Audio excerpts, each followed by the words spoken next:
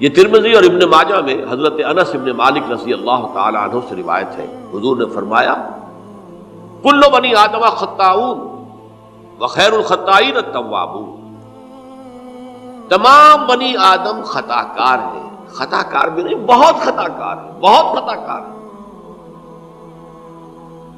लेकिन इन खताकारों में बेहतर लोग वो हैं जो खूब तौबा करते गलती हो गई, तौबा कर और एक और हदीस में आपको बताऊँगा। ये नहीं है कि फिर कभी वो गलती ना हो। इस वक्त आप ये लगा लें अपने ऊपर, ये काम मैंने नहीं करना। और एक दफ़ा वो काम छोड़ दें तो तौबा हो गई। फिर अगर कुछ अरसे के बाद, फिर कहीं आप जज्बात की रौ में बह गए, फिर कहीं कोई बुरे असरात जो है वो पड़े, फिर गलती, कोई बात नहीं, फिर तो फिर हो गया, फिर तो तब वाप इसीलिए का बार बार बार बार बार बार तोबा कर। तो कुल्लो बनी आदम खत्ताऊन व खैर तवाबून। दूसरी हदीस। ये भी इब्ने माजा और बहकी में है, हज़रत अब्दुल्ला इब्ने मसूद रसी अल्लाह तआला कमल ला जम्बा लहू। गुनाह से तौबा करने वाला ऐसे है जैसे उसने कभी गुनाह किया ही नहीं। धुल जाती है, तख्ती धुल गई। नच्चे ने तख्ती लिखी थी, उसको धो दिया, खत्म हो गई एक हदीस तो पढ़कर मैं भी चौंका। यह असल में उसलूब है बयान का बताने के लिए कि तुम्हारे दिलों के अंदर मायूसी का गलबा ना हो जाए। मायूस असल में जो है, मायूसी, ये इबलीसियत है, नोट कर लीजिए इसको। मायूसी इबलीसियत की का अक्स है। मुबलिस कहते किसे? जो मायूस हो गया।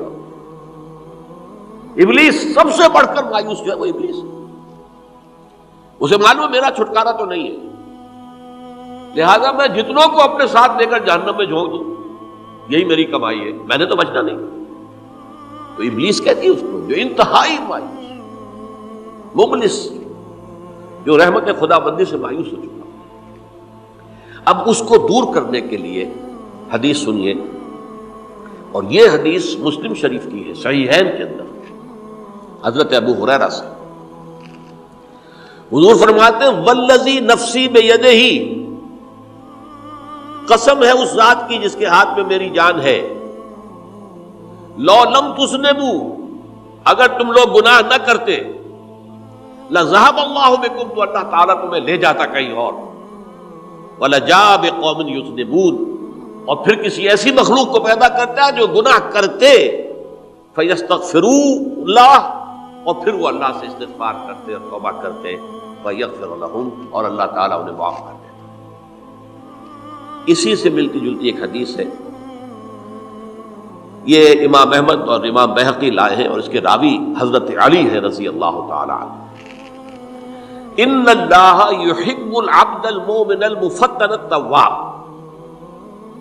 इन अल्लाह ताला मोहब्बत करता है अपने उस बंदे से, अल अब्दल मोमिना जो मोमिन हो। इसकी एक और बड़ी प्यारी हदीस आएगी। अलमुफतन अतवाब जो बहुत फितरों में मुबतला हो जाता हो और फिर बहुत तोबा करता हो।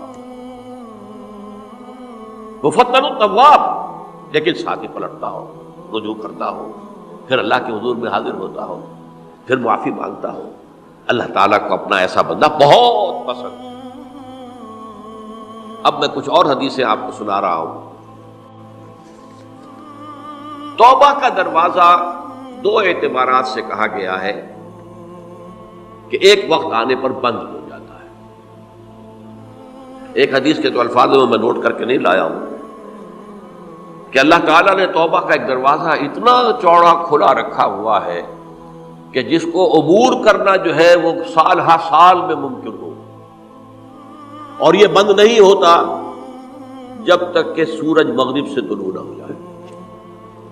ये क़यामत की जो आखिरी, करीब क़यामत की जो आखिरी निशानियाँ हैं उनमें से। वही हदीस में आपको सुना रहा हूँ अनबी हुरैरा रज़ी अल्लाह और ये मुस्लिम शरीफ की रिवायत है। मन ताबा कबल अन तत्लो बिन मगरबिहा, ताब अल्लाह सूरज के मगरिब से तुलू होने से कबल तक जो लोग तौबा करेंगे, अल्लाह ताला उनकी तौबा कबूल कर अलबत्ता जब वो क़यामत की वो निशानी ज़ाहिर हो जाए कि सूरज मगरिब से शुरू हो रहा है, अब दरवाज़ा तौबा का बंद है। अब इसके बाद अगर तौबा कोई करता है तो अल्लाह ताला उसकी तौबा को कबूल नहीं करेगा। ये तो इज्तमाही सतह पर हुई, इनफरादी सतह पर। अन अब्दुल्ला इब्न उमर रज़ी अल्लाह तहुमा अन नबी सल्लल्लाहु अलैहि वसल्लम क़ाल इन अल्लाह अज़्ज़ व जल यक़बलु तौबतल अब्द मालम युगर ये तिरमिजी में है। हज़रत अब्दुल्ला इब्न उमर रसी अल्लाह तुमा से कि अल्लाह ताला अपने बंदे की तौबा कबूल करता है जब तक के वो जिसे हम कहते हैं घुंगरू ना बोलने लगे हलक के अंदर, जबकि नजा, आलम नजा हो। और जान जो है, वो आकर फिर यहाँ अटकती है। तो उस वक्त तक दरवाज़ा खुला है तौबा। लेकिन जब ये शक्ल हो गई तो दरवाज़ा बंद। ये इंफरादी सतह पर हो गया। जब आपके मौत के आसार इतने वाजे हो गए कि अब जा रहे हैं, अब तोबा करेंगे तो तोबा कबूल नहीं होगा। इज्तमाही सतह पर जब कयामत जो है उसकी वो घड़ी आ गई कि सूरज मगरिब से शुरू हो गया। अब तोबा का दरवाज़ा बंद। एक और हदीस है जो मैंने बहुत मरतबा उसका तर्जुमा तो आपको बहुत दफ़ा सुनाया है। आज मैं चाहता हूँ उसको पूरे मतन के साथ आपके सामने रखूँ। यह हज़रत अनस इब्न मालिक रसी अल्लाह तु से मरवी रिवायत है, जो हजूर के खादिम खास थे। और यह मुतफ़ अलह भी है, यानी बुखारी में भी है, मुस्लिम में लेकिन थोड़ा सा फ़र्क है अल्फाज का। तो जो मुस्लिम शरीफ की रिवायत है, उसके अल्फाज क्या है? लल्लाह अशद फरहन बेतौबत ही जान लो, अल्लाह ताला को ज़्यादा खुशी होती है अपने किसी गुनाहगार बंदे की तौबा से, जबकि वो तौबा करता है। किससे ज़्यादा होती है? अब उसकी एक तमसील भी मिन आहद को एक ऐसे शख्स से भी ज़्यादा बढ़कर खुशी होती है। काना अला राहलती बेअर्जुल फुलात। कि जो बहुत ही दूर दराज के और सुनसान इलाके में सफ़र कर रहा था। फन तहरफत मिन हो उसकी सवारी जो है गुम हो गई। वह अलहा तामो व शराबो उसी पर उसका खाना भी था और पानी भी था। ऊंटनी पर सफ़र कर रहा था। उसी पर होता है राहला जो है, रास्ते का सामान। अचानक कहीं बैठा है थोड़ी देर के लिए, सस्ताने के लिए, कहीं ऊँग आ गई और ऊंटनी साहिबा गायब हो गई अब आँख खुली और उसने देखा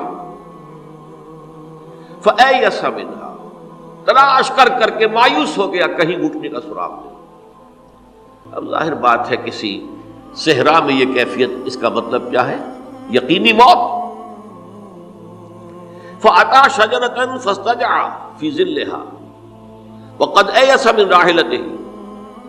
तो वो एक दरख्त के नीचे उसके साय में आके लेट गया वो या कि मौत की उम्मीद फबैना हुआ वह हुआ कजालिक इस हुआ बेहा कायमत उसकी कहीं दोबारा आँख लगी है जो खोला तो देखता है घूटने तो मौजूद है खड़ी तो वो फ़ौरन उसकी वो जो रस्सी है, वो पकड़ता है। तो अखदा बेखताम हा सुम्मा में शिद्दत फ़र्क। अब जो उसे मुसरत हुई, उसका आप अंदाज़ा कर सकते हैं। एक यकीनी मौत का मामला आ चुका था और अचानक अल्लाह ताला ने वो खोई हुई ऊँटनी जो है, वो वापस दिला दी। तो कहना तो यह चाहता था, अल्लाह तो मेरा रब है, मैं तेरा बंदा हूँ। लेकिन जिसे हम कहते हैं कि खुशी की इंतहा फर्त मुसरत में ऐसी जबान लड़खड़ाई, उसने कहा अल्लाह अब्दी वाना रब अल्लाह, तू मेरा बंदा है, मैं तेरा रब हूँ। यह कहना तो ये क्या है? फर्त मुसरत जिसे आप कहें खुशी की इंतहा जिसमें इंसान जो है, इतनी बड़ी खता कर बैठता है। अल्लाह को अपने किसी गुनाहगार बंदे की तौबा से, इससे भी ज़्यादा खुशी